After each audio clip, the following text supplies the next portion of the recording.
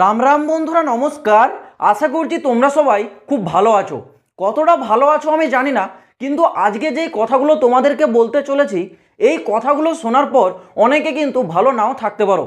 দেখো তোমরা কিন্তু এই ধরনের খবর হয়তো কমই খুব ইউটিউব চ্যানেলের কাছ থেকে শুনেছো, যেগুলো আজকে আমি তোমাদের বলব। কারণ আমার কাজ সঠিক তথ্যটা তোমাদের কাছে পৌঁছানো। কিছুদিন আগেই এমন একটা India post office GDS related মর্মান্তিক ঘটনা ঘটে গেছে, যেটা তোমরা শুনলে হয়তো বিশ্বাসই করতে পারবে না। এই ঘটনাটা ঘটেছে তামিলনাড়ুর দিকে। তামিলনাড়ুতে জিডিএসের ওয়ার্ক প্রেসারের কারণে দুজন জিডিএস প্রার্থী স্বইচ্ছায় ভগবানের কাছে চলে গেছে। এই ধরনের ওয়ার্ডটা আমি এই কারণেই ব্যবহার করলাম, কারণ সরাসরি সেই ভাষাটা প্রয়োগ করা যাবে না। কারণ ইউটিউবেরও কিছু নিজস্ব পলিসি থাকে। সেই কারণে যারা বুঝতে পারছ ইশারাটাই তাদের জন্য যথেষ্ট। এই যে ওয়ার্ক প্রেশার এটা তোমরা অনেকে জানো না যে ওয়ার্ক প্রেশারটা কি? অনেকে তো মনে করছ জিডিএসে ভাই একবার যদি নাম চলে আসে আমাদের লাইফ সেট দেখো, এই যে ধারণাটা তোমরা যদি করে নাও নিজের মনের মধ্যে, এটা কিন্তু খুবই খারাপ ধারণা। তোমাদের এই ধারণাটা সম্পূর্ণ ভুল। আজকের যদি এই ভিডিওটা দেখো পুরোটা জানতে পারবে বিষয়টা অ্যাকচুয়ালি কী ঘটেছে।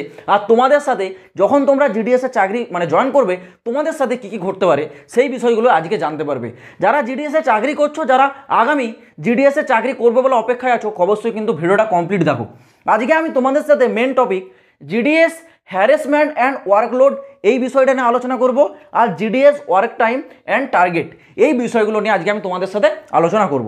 দেখো তোমরা কেউ যদি মনে করো যে জিডিএস হচ্ছে একটা সরকারি চাকরি, তোমরা হয়তো সরকারি যেসব রেলওয়ে বা এসএসসিতে দেখেছ যে সেখানে সরকারি চাকরি, ভাই টাইম মেনে চাকরিতে যাও, আবার টাইম শেষে তোমরা ঘর চলে আসো, ব্যাস, যতক্ষণ কাজ করবে ততক্ষণ কাজ, ঘরে এসে নিজের মতো করে থাকবে। এটা কিন্তু জিডিএসের ক্ষেত্রে একদমই নয়। তোমরা হয়তো সরকারি এসবিআই ব্যাংকে গিয়ে দেখেছ, সেখানে যারা ব্যাংকের অফিসার থাকে তারাও তো সরকারি কর্মচারী। তারা সেখানে কি করে? সেখানে গিয়ে অফিসে মানে ব্যাংকের যে ব্রাঞ্চ সেখানে বসে তারা কম্পিউটারে কাজ করে। এবং এবং তাদের যখন লাঞ্চ টাইম আসে, যেটা সবদিকে ফেমাস তাদের লাঞ্চ টাইমে তারা দু ঘণ্টা লাঞ্চ টাইমের নামে ব্রেক নিয়ে নেয়। মানে সেই যে লাইফটা রিল্যাক্সে কাটছে, তোমরা হয়তো সেই জিনিসটাকে জিডিএসের সাথে কম্পেয়ার করো। জিডিএসের ব্রাঞ্চে যাবে, সেখানে তোমরা কম্পিউটারে বসবে স্মার্ট ডিভাইসে বসবে এবং কাজ করবে। এটা কিন্তু সম্পূর্ণ ভুল। দেখো জিডিএসের যে হ্যারেসমেন্ট এটা কিন্তু একটা বিরাট বড় বিষয় এবং ওয়ার্কলোড এটা আমি পরে আসছি, আগে তোমাদের এই বিষয়টা বোঝাই। দেখো জিডিএসের ওয়ার্ক টাইম এবং টার্গেটেড দেখো, এই যে কিছুক্ষণ আগে তোমাদেরকে বললাম না, যে তোমরা হয়তো ভাবছ জিডিএসে আমরা বেশ আরামসে কাজ করব, এটা একদমই নয়। জিডিএসে তোমাদের টার্গেট অনুযায়ী কাজ করতে হবে। এবার টার্গেটটা কি? তোমরা হয়তো রেলওয়ে বা এসএসসি যে সরকারি চাকরি সেখানে দেখো, প্রতিনিয়ত তোমরা যাবে, তোমাদের যা কাজ সেগুলো করবে, চলে আসবে। কিন্তু জিডিএস এর ক্ষেত্রে এটা হয় না। জিডিএস এর ক্ষেত্রে তোমাদের টার্গেট দেওয়া হয়। সেই টার্গেটগুলো তোমাদের কমপ্লিট করতে হবে। কারণ তোমরা সবাই জানো যে জিডিএসটা কোনো পারমানেন্ট সরকারি চাকরি নয়।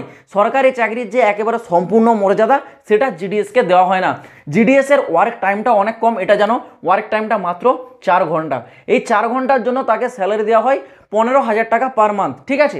আর এই চার ঘন্টাটা কি কোনো সরকারি চাকরি ডিউটি আওয়ার্স কখনোই নয়। একটা সরকারি চাকরি দেখো, সামান্য একটা ব্যাংক অফিসারকেই তুমি দেখো না। সে যে সরকারি কর্মচারী, সে যখন তার কাজে যায়, কখন যায়? না সকাল দশটার সময়, আর আসে কখন? বিকেল চারটায়। কতক্ষণ টাইম হচ্ছে তুমি ভাবো? একজন স্কুল টিচারকে দেখো, সেও একজন সরকারি কর্মচারী। সেও সকাল দশটায় যায়, আবার বিকেল চারটার সময় সে ব্যাক আসে। এই যে এতক্ষণ চাকরি করছে, এতক্ষণ টাইমটা কাজ করছে, এটা হচ্ছে একটা পারমানেন্ট সরকারি চাকরি। কিন্তু জিডিএসে মাত্র চার ঘণ্টা তুমি ডিউটি করো, ঠিক আছে? আর এটা কি চার ঘণ্টা ডিউটিটা কি তোমাদের কখনো পারমানেন্ট সরকারি চাকরি? একদমই নয়। এটা হচ্ছে তোমাদের একটা পার্ট টাইম চাকরি, যেখানে তোমাদের জিডিএস এর কিছু টার্গেট দেবে, সেই টার্গেটগুলো তোমাদের কমপ্লিট করতে হবে। মানে সিম্পল ভাষায় যদি বলে রাখি পোস্ট অফিসের যে কাজ, সেগুলোকে তোমাদেরকে কিছু টাকার বিনিময় করে দিতে হবে। এটুকুই। তুমি জিডিএসের এমপ্লয় কিন্তু তুমি কোনো সরকারি একদম কর্মচারী নয়। এটা হচ্ছে রিয়েলিটি কেউ মানো আর না মানো, এটাই রিয়েলিটি ঠিক আছে? তো জিডিএসে তোমাদের যে টার্গেট দেবে, সেই টার্গেট যদি না কমপ্লিট করতে পারো, তখন তোমাদের মনে, তোমাদের যে ওয়ার্কের একটা প্রেশার রয়ে যাবে। আর এই যে ওয়ার্ক প্রেশার ঠিক আছে? এই যে ওয়ার্কলোড এই ওয়ার্কলোডটা অনেকে সহ্য করতে পারে না।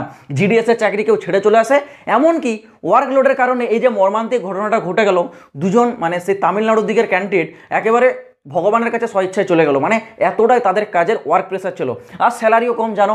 এই যে পনেরো হাজার টাকা স্যালারি এটা কিন্তু আজকের দিনে দাঁড়িয়ে দু হাজার চব্বিশ সালের এই যুগে পনেরো হাজার টাকা স্যালারি কিন্তু কারোর ঘর সংসার চলে না। মানে বুঝতে পারছ কীভাবে জিডিএস ক্যান্ডিডেটদেরকে শোষণ করছে? এই যে জিনিস, এটা কিন্তু আজকালকার ঘটনা নয়, এটা হচ্ছে ব্রিটিশ আমল থেকে চলে আসছে। তোমরা সবাই জানো জিডিএসের একটা ফেমাস রুল আছে রুলস থ্রি এ। এই রুলসটা সম্বন্ধে যারা জানো না, ভাই, তোমরা তাহলে জিডিএসের সম্বন্ধে কিছুই জানো না। কারণ এই যে রুলস এটা কিন্তু বহুত খতরনাক রুলস তোমাদের যে পনেরো হাজার টাকা স্যালারি দেওয়া হচ্ছে, তোমাদের যে চার হাজার চার ঘণ্টা ওয়ার্ক টাইম দিচ্ছে, এই যে এটা নিয়ে তোমরা যদি রাস্তায় আন্দোলনে নামো, যে সরকারের কাছে পথে বসে যাব, আমরা আন্দোলন করব, আমাদের স্যালারি বাড়ান, আমাদের ওয়ার্ক টাইম বাড়ান, এই ভুলটা যদি কেউ করতে যাও তাহলে তোমাদেরকে আগে জিডিএস এর রুলস থ্রি পড়তে হবে। রুলস থ্রি এতে ভাই স্পষ্ট লেখা রয়েছে। যদি তোমরা ইন্ডিয়া পোস্ট অফিস জিডিএস এর সম্বন্ধে কোনো রকম ভাইলেন্স ক্রিয়েট করো মানে কোনো প্রকার যদি আন্দোলন করো, কাউকে যদি এই নিয়ে উস্কে দাও মানে বলে না যে এই বিরুদ্ধে তাকে আমি উস্কে দিচ্ছি, এরকম কাজ যদি করো, যদি ধরা পড়ো, ভাই চাকরি থেকে তোমাকে কিন্তু একেবারে ডিসমিস করা হবে। মানে তুমি যে পনেরো হাজার টাকাটাও পাচ্ছিলে, সেটাও পাবে না, এরকম অবস্থা, ঠিক আছে? না তুমি কোনো আন্দোলনে সামিল হতে পারবে, না তুমি কাউকে জিডিএস এর খিলাবে মানে উস্কে দিতে পারবে। কিছু না। ভাই, তুমি যেমন কাজ করছ সেই রকম গরু গাধার মতো তোমাকে খাটাচ্ছে। এটা রিয়েলিটি তার জন্য তোমাকে স্যালারি দিচ্ছে কত? না, পনেরো হাজার টাকা। এবং তোমাকে যে প্রাপ্য সম্মান, সেটাও কিন্তু দিচ্ছে না ইন্ডিয়া পোস্ট অফিস এই জিনিসটা কিন্তু বর্তমানে জিডিএসে চলছে, আর এটা কিন্তু কয়েক বছর ধরে চলে আসছে সেই ব্রিটিশ আমল থেকে। আর এই রুলস থ্রি এটা এখনও লাগু আছে, ঠিক আছে? এইরকম অবস্থা। আর যারা মনে করো যে অনেকে কমেন্ট এরকম করেছিলে যে, দাদা, আমি ইন্ডিয়া পোস্ট অফিস জিডিএসে সিলেক্ট হওয়ার পর কি কলেজ করতে পারব? দেখো, সেটা সম্পূর্ণ তোমার উপর ডিপেন্ড করে। তোমাকে তো চার ঘণ্টা পার ডে ডিউটি করতেই হবে। যদি কোনোদিন ডিউটিতে না যাও তাহলে তোমার তো সেই দিনের স্যালারি কাটা যাবে। এছাড়াও তোমার এক্সট্রা অ্যালাউন্সেস কাটা যাবে এবং যদি এই জিনিসটা কন্টিনিউ হতে থাকে, তাহলে কিন্তু তোমাকে চাকরি থেকে বের করে দেওয়া মানে তোমার চাকরি ডিসমিস করে দেওয়া হতে পারে। এবার তোমরা ভাবো, ঠিক আছে? তোমরা কীভাবে কলেজটা মেনটেন করবে? কারণ এই জিনিসটা আমি তোমাদের বলতে কখনোই পারব না যে হ্যাঁ তোমরা চাকরিও করো আর কলেজেও যাও। কারণ জিডিএস এর ব্যাপারটা সম্পূর্ণ আলাদা। জিডিএসটাকে তোমরা একেবারে বলতে পারছ, গিলতেও পারছ না আর বাইরে ফেলে দিতেও পারছ না। গলায় ঠিক আটকে গেছে, এরকম একটা অবস্থা। মানে তোমাদেরকে জিডিএস এর ওয়ার্ক টাইম দিতে হবে চার ঘণ্টা এর বেশি তোমাদের ডিউটিও নেই। মাত্র স্যালারি পনেরো হাজার টাকা। আর তোমরা এর বাইরে এক্সট্রা যদি কিছু করতে যাও, তখন এই চার ঘন্টাটাও মেনটেন হচ্ছে না। এরকম অবস্থা। এবার তোমরা ভাবো, তোমরা কলেজ করতে করতে জিডিএস করবে না? কলেজ ছেড়ে জিডিএস করবে? কিন্তু আমি এটুকুই বলব কেউ যদি জিডিএস চাকরি করতে চাও, এটা তোমাদের জন্য শর্ট টাইমের ক্ষেত্রে বেস্ট যাদের কাছে চাকরি নেই, যারা চাইছো খুব তাড়াতাড়ি একটা চাকরি পেতে, তাদের কাছে জিডিএসটা বেস্ট কারণ তোমরা শর্ট টাইমে এই চাকরিটা পাবে। এর যে সিলেকশন প্রসেস দেখতে পাচ্ছ, খুবই ফাস্ট হয়। কোনো পরীক্ষা হয় না, কোনো ইন্টারভিউ হয় না। জাস্ট তোমাদের ম্যারিট লিস্টের উপর সিলেকশন কিন্তু আফটার সিলেকশন তোমরা কিন্তু কখনোই এই শুধুমাত্র জিডিএসকে নিয়ে পড়ে থাকবে না। এই জিডিএসের সাথে সাথে অন্য সরকারি চাকরি, যেমন রেলওয়ে আছে এসএসসি আছে ব্যাংকিং সেক্টর আছে আরও বিভিন্ন রকম ডিপার্টমেন্ট আছে। সেগুলোর সাথে তোমরা প্রস্তুতি নিয়ে সেগুলোতে তোমরা যদি বেরিয়ে যেতে পারো, খুবই ভালো। কিন্তু জিডিএসে শুধু পড়ে থাকবে না। জিডিএসে চার ঘণ্টা ডিউটি করো, বাকি টাইমটা মানে এই যে চব্বিশ ঘণ্টার মধ্যে চার ঘণ্টা ডিউটি করলে কুড়ি ঘণ্টা তোমার কাছে টাইম থাকছে। তো কুড়ি ঘণ্টার মধ্যে আরও চার ঘণ্টা বের করে তোমরা তোমাদের অন্য কোনো চাকরির প্রস্তুতি নাও, এটা তোমাদের জন্য বেস্ট ঠিক আছে? এই জিনিসটা কিন্তু তোমাদেরকে সহজে কেউ বলতে চাই না। আমি তোমাদেরকে আজকে ক্লিয়ার কাট বলে দিচ্ছি ভাই। জিডিএস শর্ট টাইমের জন্য বেস্ট নাকি লং টাইম লং টাইমে যদি কেউ জিডিএসের চাকরিতে থাকো, ভাই সারা লাইফটা পৌঁছাবে ঠিক আছে? না কোনো প্রমোশন পাবে, না কোনো স্যালারি বৃদ্ধি হবে, না তোমার প্রাপ্য সম্মান থাকবে থাকবে কি? একটাই জিনিস, সেটা হচ্ছে ওয়ার্কলোড ঠিক আছে? কাজ কাজ কাজ কাজ কাজ। তো জিডিএসটাকে শর্ট টাইমে রাখো এবং সাথে সাথে অন্য কোনো চাকরির প্রস্তুতি নাও, এটাই হচ্ছে বেস্ট ওকে তো আশা করছি আমি যেই বিষয়টা আজকে তোমাদের টপিকে রেখেছিলাম ক্লিয়ারলি বোঝাতে পারলাম। যা যা সমস্যা ছিল তোমাদের আশা করছি বিষয়টা একেবারে জলের মতো ক্লিয়ার হয়ে গেছে।